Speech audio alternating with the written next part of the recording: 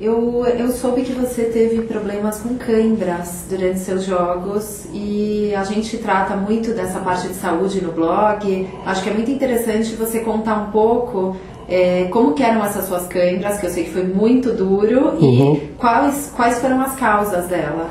Bom, eu tive dois eventos com, com câimbras que me marcaram muito. E uma foi numa época que eu estava jogando um torneio patrocinado pelo Bradesco, que era meu patrocinador, em Curitiba eu não tinha me alimentado direito e tive uma câimbra muito forte na hora de na hora da conferência de imprensa e depois no almoço de encerramento do, do evento.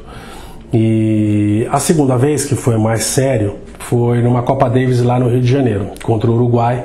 A gente estava jogando num calor muito forte lá no Hotel Sheraton, no, no Rio de Janeiro. E no terceiro dia a gente estava ganhando 2 a 1 um, eu joguei o primeiro dia 5-7, joguei a dupla foram 5-7, no terceiro dia, no terceiro set, eu tive uma quebra generalizada. Aí tive que tomar, fui para o hospital, fui, fui ficar fazendo um tratamento de hidratação. Quer dizer, foi uma coisa que perigosa, que podia ter uma, uma coisa mais séria. Mas isso tudo foi a culpa, lógico, é minha de não ter me alimentado adequadamente para o esforço que eu estava fazendo.